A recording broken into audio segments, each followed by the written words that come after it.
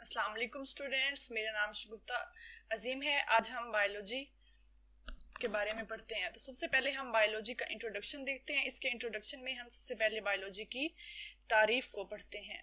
What is biology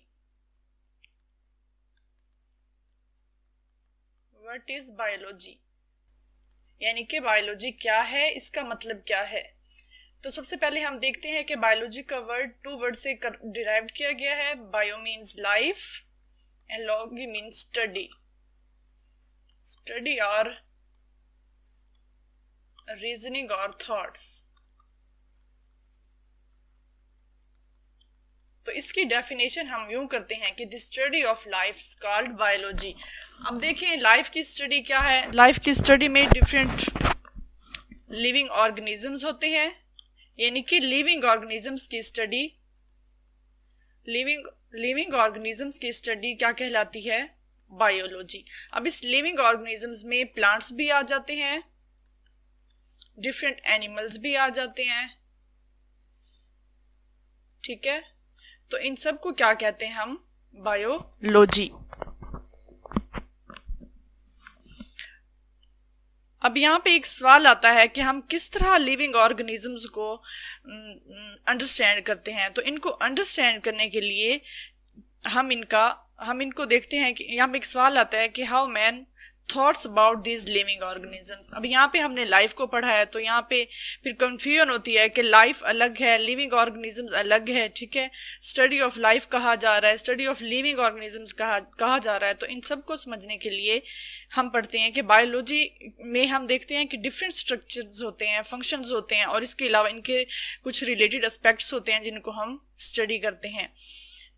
इन सबको क्या कहते हैं? बायोलॉजी अब बायोलॉजी की नेक्स्ट हम डिवीजन्स को पढ़ते हैं तो इसकी थ्री मेजर डिवीजन्स हैं। बायोलॉजी की तीन मेजर डिवीजन्स हैं। सबसे पहले क्या है? जोलॉजी उसके बाद है बॉटनी और थर्ड वन है माइक्रोबायोलॉजी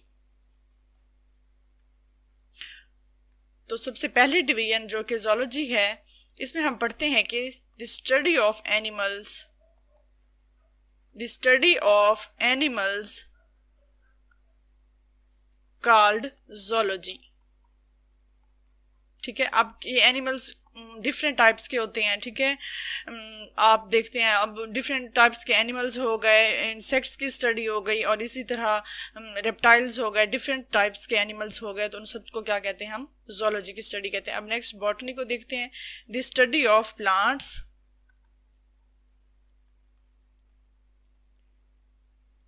plants called botany यानी कि प्लांट्स की स्टडी को क्या कहते हैं? आप बॉटनी कहते हैं। अब प्लांट्स में क्या है?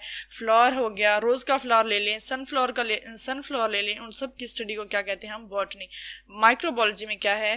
कि study of different microorganism study of different microorganisms microorganisms कि स्टडी को क्या कहते हैं हम? माइक्रो बायोलॉजी कहते हैं। ये माइक्रो ऑर्गेनिजम्स कौन से हैं? आप देख लें डिफरेंट बैक्टीरियाज हो गए। ठीक है फंजाई अल्जी एंड सेट्रा इसके बाद, ये थी बायोलॉजी की डिवीजन्स जो कि तीन मेजर डिवीजन्स थी, जिसको हमने यहाँ पढ़ा। नेक्स्ट इनशाला हम अपने लेक्चर्स में बायोलॉजी की ब्रांचेस को पढ़ेंगे।